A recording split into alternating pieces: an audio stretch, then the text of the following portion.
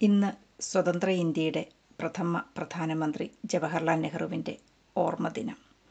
ഈ ദിനത്തിൽ ശ്രീമതി സുധാമേനോൻ എഴുതിയ ഒരു ഫേസ്ബുക്ക് കുറിപ്പ് നിങ്ങൾക്ക് വേണ്ടി വായിക്കുവാൻ ഞാൻ ആഗ്രഹിക്കുകയാണ്. ആയിരത്തി തൊള്ളായിരത്തി നാൽപ്പത്തേഴ് ജൂലൈ മുപ്പതാം തീയതി ഇന്ത്യ സ്വതന്ത്രയാകുന്നതിന് കൃത്യം രണ്ടാഴ്ച മുൻപ് പണ്ഡിറ്റ് ജവഹർലാൽ നെഹ്റു സ്വന്തം കൈപ്പടയിൽ രാജാജിക്ക് അതായത് സി രാജഗോപാലാചാരിക്ക് ഒരു ഇങ്ങനെ എഴുതി. എന്റെ പ്രിയപ്പെട്ട രാജാജി ഷൺമുഖം ചെട്ടിയെ എത്രയും പെട്ടെന്ന് കാണേണ്ട കാര്യം ഞാൻ ഓർമ്മിപ്പിക്കട്ടെ. അംബേദ്കറെ ഞാൻ കണ്ടു. അദ്ദേഹം സമ്മതിക്കുകയും ചെയ്തു. സോഴ്സ് രാമചന്ദ്ര ഗുഹ. പുതിയ ഇന്ത്യയുടെ ആദ്യത്തെ ക്യാബിനറ്റ് ആയിരുന്നു വിഷയം. ക്യാബിനറ്റ് അംഗങ്ങളായിരിക്കാൻ കോൺഗ്രസിൽ തന്നെ ധാരാളം പേരുണ്ടായിരുന്നു. എങ്കിലും ചരിത്രവുമായുള്ള ഏറ്റവും സങ്കീർണമായ കൂടിക്കാഴ്ചയാണ് ഇന്ത്യയെ കാത്തിരിക്കുന്നത് എന്ന് ജവഹർലാൽ നെഹ്റുവിന് അറിയാമായിരുന്നു.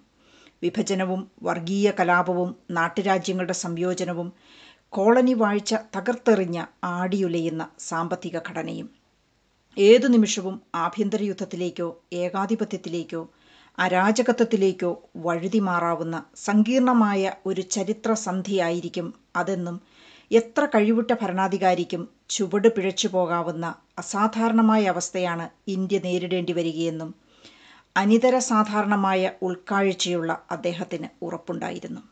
അതുകൊണ്ട് ആദ്യത്തെ ക്യാബിനറ്റ് എതിർസ്വരങ്ങളെ ബഹുമാനിച്ചുകൊണ്ട് ഈ മഹാരാജ്യത്തിന്റെ വൈവിധ്യങ്ങളെ മുഴുവൻ ഉൾക്കൊള്ളുന്ന എല്ലാ പ്രഗത്ഭരെയും ഉൾപ്പെടുത്തിക്കൊണ്ടാകണമെന്ന് നെഹ്റു തീരുമാനിച്ചു.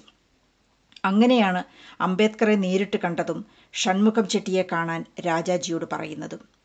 മുപ്പതുകളിലും നാൽപ്പതുകളിലും ഗാന്ധിജിക്കും കോൺഗ്രസിനുമെതിരെ അതിശക്തമായ വിമർശനമുയർത്തിയ ആളായിരുന്നു അംബേദ്കർ. ഗാന്ധിജിയുടെ സാർവത്രികമായ പ്രതിച്ഛായയുടെ നേർക്ക് നീതിയുക്തമായ ചോദ്യങ്ങൾ ഉയർത്തിയ ഒറ്റയാൾ. എന്നിട്ടും ആദ്യത്തെ നിയമമന്ത്രിയുടെ സ്ഥാനത്തേക്ക് വേറൊരു പേരാലോചിക്കാൻ പോലും ഗാന്ധിജിയും നെഹ്റുവും മെനക്കെട്ടില്ല. അതുപോലെ ജസ്റ്റിസ് പാർട്ടിയുടെ നേതാവായിരുന്ന ഷൺമുഖം ചെട്ടി കോൺഗ്രസിന്റെ കടുത്ത വിമർശകനായിരുന്നു. പക്ഷേ ഇന്ത്യയിലെ ഏറ്റവും മികച്ച ധനകാര്യ വിദഗ്ധൻ കൂടിയായിരുന്നു അന്ന് ഷൺമുഖം ചെട്ടി. അതുകൊണ്ട് അദ്ദേഹത്തെ ധനകാര്യമന്ത്രിയാക്കുന്നത് രാജ്യത്തിന് ഗുണകരം ആകുമെന്നല്ലാതെ അദ്ദേഹത്തിന്റെ കോൺഗ്രസിന്റെ വിമർശനം നെഹ്റു കാര്യമാക്കിയില്ല. എന്തിനേറെ ദേശീയ പ്രസ്ഥാനത്തിന് നേരെ എന്നും പുറംതിരിഞ്ഞു നിന്ന ഹിന്ദു മഹാസഭയുടെ നേതാവ് ശ്യാമപ്രസാദ് മുഖർജിയെ വ്യവസായ മന്ത്രിയാക്കുന്നതിൽ വരെ എത്തി നിന്ന ഉദാത്തമായ ജനാധിപത്യ മര്യാദയായിരുന്നു നെഹ്റുവിന്റേത്. ഇന്നത്തെ ഒരു നേതാവിനും സ്വപ്നം കാണാൻ കഴിയാത്തത്ര ഉന്നതമായ രാഷ്ട്രീയ ബോധം.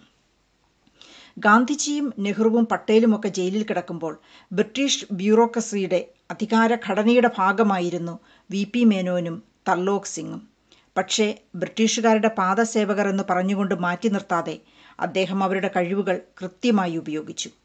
അങ്ങനെ വി പി മേനോൻ പട്ടേലിനൊപ്പം ചേർന്ന് നാട്ടുരാജ്യങ്ങളെ ലയിപ്പിക്കുന്ന ഏറ്റവും പ്രയാസം നിറഞ്ഞ ഉത്തരവാദിത്വം അതിഗംഭീരമായി പൂർത്തിയാക്കി. മറ്റൊരു അതുല്യ പ്രതിഭാശാലിയായ സുകുമാർ സെന്നിനെ ആദ്യത്തെ പൊതു തെരഞ്ഞെടുപ്പ് നടത്താൻ നിയുക്തനാക്കി. തർലോക് സിംഗ് പാകിസ്ഥാനിൽ നിന്നുള്ള അഭയാർത്ഥി പ്രവാഹത്തെ ഒരു വൻ ദുരന്തമാകാതെ നിയന്ത്രിച്ചു. എതിരാളികളുടെ സ്വകാര്യ ജീവിതം നിറം പിടിപ്പിച്ച കഥകളാക്കാനും അവരെ വിഡ്ഢിയും മണ്ടനും രാജ്യദ്രോഹിയാക്കാനും മെനക്കെടാത്ത അദ്ദേഹം അവരുടെ പ്രാഗൽഭ്യത്തെ എങ്ങനെ പ്രയോജനപ്പെടുത്താം എന്ന് മാത്രമാണ് ശ്രദ്ധിച്ചത്. അങ്ങനെയാണ് ഏകശിലാരൂപമല്ലാത്ത ഒരു ദേശ രാഷ്ട്ര മാതൃക സമാനതകളില്ലാത്ത ധൈഷ്ണികതയോടെ അതിലേറെ പ്രായോഗികതയോടെ നെഹ്റു കെട്ടിപ്പടുത്തത്. അതുകൊണ്ടാണ് അദ്ദേഹം രാജശില്പിയാകുന്ന രാഷ്ട്രശില്പിയാകുന്നത്. ജവഹർലാൽ നെഹ്റുവിന്റെ മഹാക്ഷേത്രങ്ങൾ അയോധ്യയിലും സോമനാഥിലും മധുരയിലുമായിരുന്നില്ല. ആ മഹാക്ഷേത്രങ്ങൾ നിർമ്മിക്കാൻ അദ്ദേഹം ഇന്ത്യൻ ജനതയെ ധ്രുവീകരിച്ചിട്ടുമില്ല. അത് കോടിക്കണക്കിന് മനുഷ്യർക്ക് തൊഴിൽ സുരക്ഷയും രാജ്യത്തിന് വ്യാവസായിക പുരോഗതിയും നൽകിയ നമ്മുടെ പൊതുമേഖലാ സ്ഥാപനങ്ങളായിരുന്നു.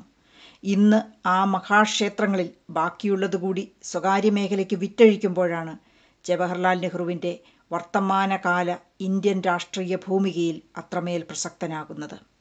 അദ്ദേഹത്തിന്റെ ഓർമ്മകൾ പോലും രാഷ്ട്ര ശരീരത്തിൽ നിന്ന് മായ്ച്ചു കളയാൻ നിരന്തരം ശ്രമിക്കുമ്പോഴും പണ്ഡിറ്റ് ജവഹർലാൽ നെഹ്റു എന്ന സ്റ്റേറ്റ്സ്മാൻ ഇന്നും ഇന്ത്യൻ പൊതുമണ്ഡലത്തിൽ നിറഞ്ഞു നിൽക്കുന്നത് അദ്ദേഹത്തിന്റെ കയ്യൊപ്പ് ആഴത്തിൽ പതിഞ്ഞത് ഓരോ ഇന്ത്യക്കാരന്റെയും ഹൃദയത്തിലായതുകൊണ്ടാണ്. മരിക്കാത്ത ആ ഓർമ്മകൾക്ക് മുൻപിൽ പ്രണാമം.